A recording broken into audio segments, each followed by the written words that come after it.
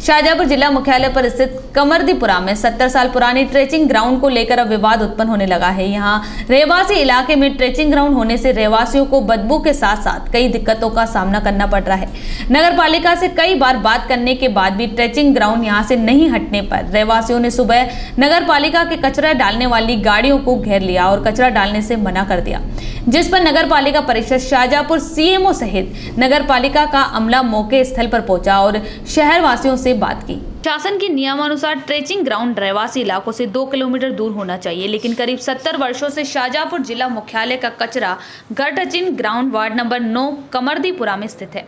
कई वर्षों पूर्व से ही इसके आसपास रहवासी इलाका है और रहवासियों के अनुसार कचरे में फैल रही बदबू से ये लोग परेशान रहते हैं।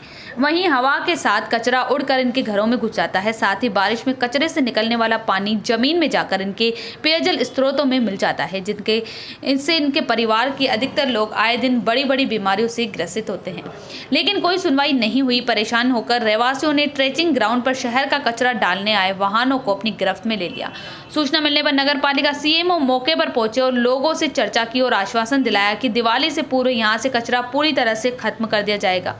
वहीं लोगों का कहना है कि कई बार इस तरह की बात नगर पालिका द्वारा की गई, पर कोई कार्रवाई आज तक नहीं हुई है।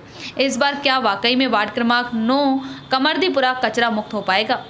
शाहजहांपुर से सोनू। हो रहे हैं सब। और सुमर पड़ रहे थे और सरकार का कहना है स्वच्छ भारत बनाओ। और कैसे स्वच्छ भारत बनेगा? सर, आप ही देखिए इस मीडिया के अनुसार सरकार के पास पहुँचाइए ये समस्या क्या है? कितनी गंदगी है यहाँ पर? और अधिकारी आ रहे हैं कि हटवा देंगे। हर बार अधिकारी आते हैं आश्वासन दे जाते हैं कि दो महीने में अधिकारी आ जाता है दो महीने में ट्रांसफ़र हो जाता है फिर नया अधिकारी आता है कि दो महीने में हटवा दूँगा अभी ये आए ये कह रहे कि दिवाली तक हटवा दूँगा। उसके बाद में कोई सुनवाई नहीं और दूसरा अधिकारी आ जाएगा वो कहता है बताया जा रहा है कि जो कचरा गाड़ियाँ रोक ली गई हाँ रोक ली गई सर कचरा गाड़ियाँ आज हमने। कारण? कारण ये है कि इससे गंदगी इतनी फैल रही है हमें परेशान है हम गंदगी फैल रोड पर कचरा और घरों में क्रमांक नौ में है और इसका ये समस्या है कि पंद्रह किलोमीटर दूर होना चाहिए शहर से और ये हमारे वार्ड में डल रहा है पूरे शहर का उनतीस वार्ड का कचरा हमारे वार्ड में डल रहा है और इसकी वजह से हमारे घर में आने के बदबू आती है और बदबू आने के बाद जो इसके अंदर तरल पदार्थ जो निकलता है कचरे का जो सड़ा हुआ वो ज़मीन के अंदर जाता है डस्ट बन के हमारे आसपास जो कुंडियाँ हैं वो इनका ही पानी दुष्ट हो गया जो पीने लायक बचा नहीं पानी। और उसकी वजह से हमारे बच्चे और ये बीमार हो रहे हैं और यहाँ पे हमारे वार्ड में कम से कम पाँच से छः लोग जो दमे